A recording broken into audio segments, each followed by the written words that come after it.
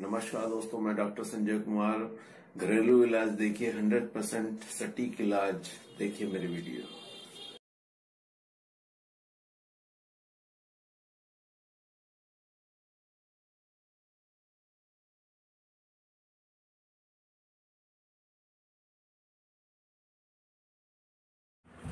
नमस्कार दोस्तों, मैं डॉक्टर संजय कुमार।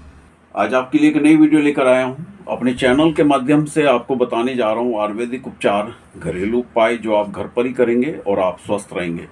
आज की जो वीडियो है, ये वीडियो है दिमाग के लिए और ये मैं आपको जो वीडियो देने जा रहा हूँ, ये घरेलू उपचार के लिए वीडियो देने जा रहा हूँ जो आप घर पर ही करेंगे।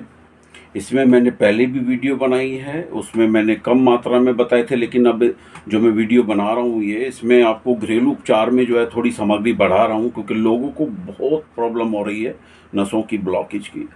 और इसमें सिम्टम बहुत तेज़ी के साथ बढ़ते हैं। तो आज की जो वीडियो है, इसमें मैं आपको लक्षण, परहेज और आपका इसमें उपचार। क्या उपचार है? घरेलू, जो आप घर पर ही करेंगे और आपको इसमें बहुत लाभ होने वाला है। जिनकी कम समस्या है, वो तो ठीक होंगे ही और इन, जिनकी ज़्यादा समस्या है और जो इंग्लिश दवाइयाँ खा रहे हैं, वो उन इंग्लिश दवाइयों को छोड़ पाएँगे। वो लोग जो हैं, जो इंग्लिश दवाई खा रहे हैं, जो इंग्लिश दवाइयों को छोड़ पाएँगे और जितना उनको दवाई से फ़ायदा नहीं होगा, इससे फ़ायदा हो जाएगा और सिम्टम्स जो हैं, उनके ठीक होंगे और 20 से 25 परसेंट तक उनके प्रॉब्लम्स ठीक हो जाएगी। तो अब मैं आपको बताने जा रहा हूँ, इसमें क्या उपचार है? एक तो इसमें तेल है और एक इसमें सामग्री जो आपको किराना स्टोर से मिल जाएगी इजीली और ऑयल आपको कि कुछ किराना स्टोर से मिल जाएँगे, कुछ आपको आयुर्वेदिक स्टोर से मिल जाएँगे। तो मैं शुरू करता हूँ आपका उपचार, घरेलू उपचार, जो आपको घर पे ही करना है। तेल बताने जा रहा हूँ, तेल में आपको लेना है जैतून का तेल। और इसमें आपको लेना है तिल का तेल। और इसमें हो गया आपका कुसुम का तेल, गरी का तेल, और इसमें आपका हो गया नीम का तेल, क्लौंजी का तेल, सरसों का तेल, और इसमें आप सात तेल मैंने आपको इसमें बता दिए हैं, जो आपको इनको पचास पचास एम आपको लेना है, काहू का तेल, कद्दू का तेल। ये नौ तेल हैं जो आपको यूज़ करने हैं। आपको इकट्ठा करने हैं, एक जगह इनको लाना है, एक जगह ला के इनको मिलाना है। और आपकी प्रॉब्लम्स इसमें बहुत ठीक होगी। ये कैसे बनाना है, मैं आगे बताऊँगा। अब मैं इसमें आपको बताने जा रहा हूँ, किराना से स्टोर से जो आपको सामग्री मिल जाएगी, इजीली ये मिल जाती है। दो ग्राम लेनी आपको दालचीनी, पिसी हुई, आप घर पे पीस सकते हैं दो ग्राम ला के और इसमें आपका 20 ग्राम अखरोट 20 ग्राम इसमें लेना है आपको बादाम 20 ग्राम चिलगोजा और 20 ग्राम अखरोट की गिरी।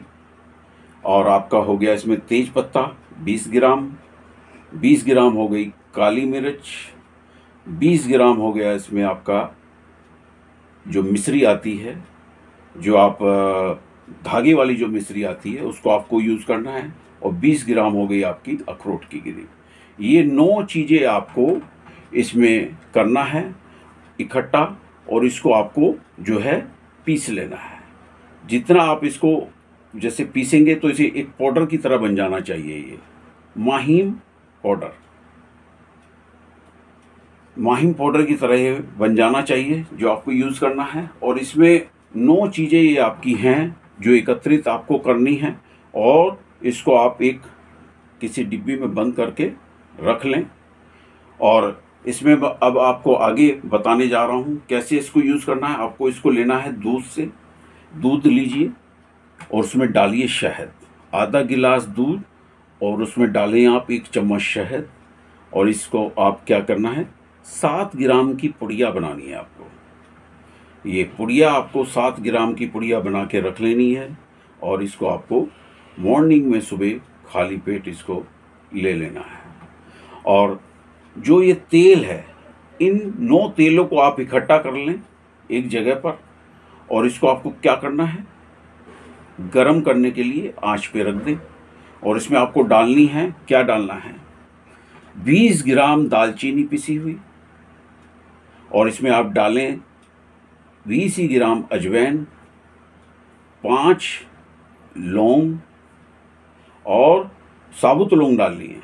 और इसमें आपको डालनी है चौदह से पंद्रह पौड़ी लहसुन की। उसको छीलें और ग्रीन झिल्ली उसकी ना काटें, उसको ऐसे ही आप डाल दें। और चौदह से पंद्रह पौड़ी हो गई आपकी लहसुन की। और इसको आप आँच पर पकाएँ, ये ब्लैक हो जाए जब, अंदर चाकू मार के देखें लहसुन में। ब्लैक हो गया है, ठीक है, उतार लीजिए। फिर इसको आप ठंडा करते तेल को एक बोतल में छान लें। और जो छन्नी में जो सामग्री बचेगी, हमारी जो ब्लैक हो चुकी है, उसको आपको ड्रायर करना है। उसको आप पीस लें।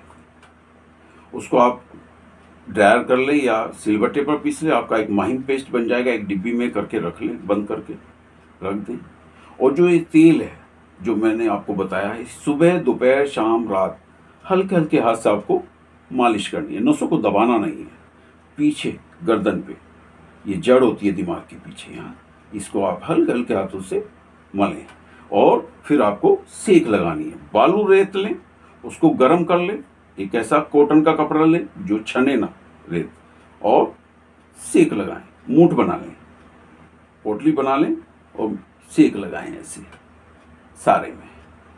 तो इसमें जहाँ आपके दर्द है, ब्लॉकेज है, जो आप ये खाएँगे सुबह मॉर्निंग में, बहुत फ़ायदा होने वाला है। और किन्हीं को ज़्यादा समस्या है तो इस, जो सुबह में आप नाश्ते में आप जैसे ले रहे हैं तो दो आप जो है आंवला का मुरब्बा आता है, उस पर चांदी का व्रक लगाएँ, वो आंवले का मुरब्बा ले सकते हैं दूध के साथ, कोई प्रॉब्लम नहीं है। और इसमें आपके प्रॉब्लम्स जो है, ब्लॉकेज की, जैसे जिनका सिम्टम्स बहुत मतलब कम है, और बहुत इजीली ठीक हो जाएँगे, कहीं जाने की आवश्यकता नहीं है। और जिनकी ज़्यादा समस्या है, बहुत सिम्टम्स आ गए हैं तो 20 से 25 परसेंट तो उनको आराम मिल जाएगा, दवाई छोड़ दे बिल्कुल। इंग्लिश दवाई से आपको इतना आराम नहीं मिलेगा, क्योंकि इसमें साइड इफ़ेक्ट चलता ही चलता है। बहुत लोग होते हैं ऑपरेशन के लिए चले जाते हैं। अरे, दिमाग की नसों का ऑपरेशन होता ही नहीं है ब्लॉकेज का ऑपरेशन थोड़ी होता है। तो वो नहीं कराना चाहिए, उसमें बचने के चांसेस बहुत कम होते हैं, ना के बराबर होते हैं।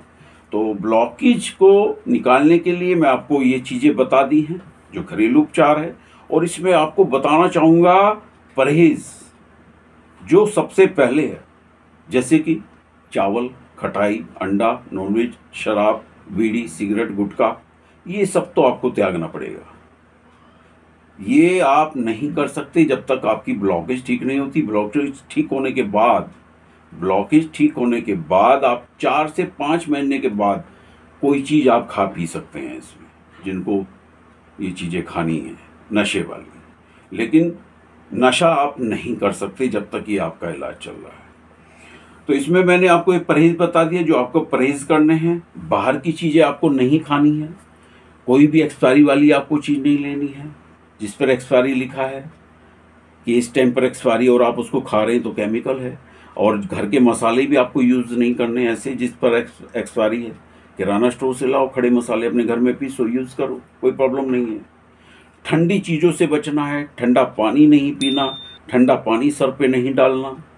जितना आप इन चीज़ों से बचोगे, बहुत जल्दी अपने आप को रिकवर करते चले जाओगे।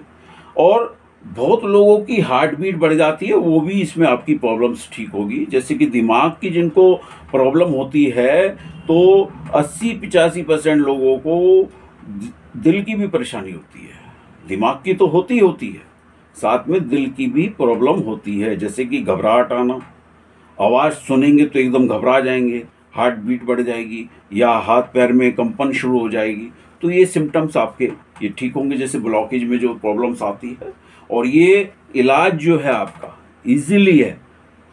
कर सकते हैं आप इसको, कोई प्रॉब्लम नहीं है और जिनको ज़्यादा प्रॉब्लम है, जैसे 20 से 25 परसेंट इस उपचार से ठीक हो गए हैं तो ये व्हाट्सअप नंबर चल रहा है। आप क्लिनिक पे आ सकते हैं। व्हाट्सअप की डीपी में जाइए, आपको पूरी इन्फॉर्मेशन मिलेगी। वेबसाइट चल रही है ऊपर। वहाँ पर भी जाएँगे तो आपको पूरी इन्फॉर्मेशन मिलेगी। और ऑनलाइन दवाई मंगा सकते हैं घर पर क्लिनिक पर आ सकते हैं इजीली दवाई आपके पास ऑनलाइन पहुंचेगी। और आपकी प्रॉब्लम्स जीवन भर के लिए ठीक होगी। और ये परहेज जो इसमें बताए हैं, जो उपचार इसमें बताया है, वो परहेज भी ज़रूरी है। और इसमें एक परहेज और भी है, जो कि आपको करना है, जो आप नहीं कर पाते, चाहकर भी, वो है टेंशन किसी चीज़ की टेंशन रखना। आपके टेंशन रखने से वो चीज़ सही नहीं होने वाली। जो टेंशन है, उसको आपको निकाल कर दिमाग से अलग रख देनी है। अपना टेंशन होए, दूसरी जगह दिमाग लगाइए, ये आपको करना है। परहेज में टेंशन रखना जो है, वो भी है। आपको टेंशन नहीं रखना है, फ्री माइंड रहना है। जितना आप फ्री माइंड होकर ये नुस्खा अपनाएँगे और मेरी वीडियो देखें, परहेज करें, और भी वीडियो है मेरी तो उसमें आपको बहुत फ़ायदा होगा। और इसी के साथ वीडियो में समाप्त करता हूँ। अब मैं आपसे आज्ञा चाहूँगा, नमस्कार। नमस्कार दोस्तों, मैं डॉक्टर संजय कुमार। लाइक कीजिए सब्सक्राइब कीजिए शेयर कीजिए। और मुझे बहुत खुशी है कि मेरी वीडियो को पसंद किया गया, देश में ही नहीं, विदेशों में भी। हमारे घरेलू इलाज, आयुर्वेदिक इलाज आपके लिए 100 परसेंट सटीक इलाज आपके लिए दोस्तों।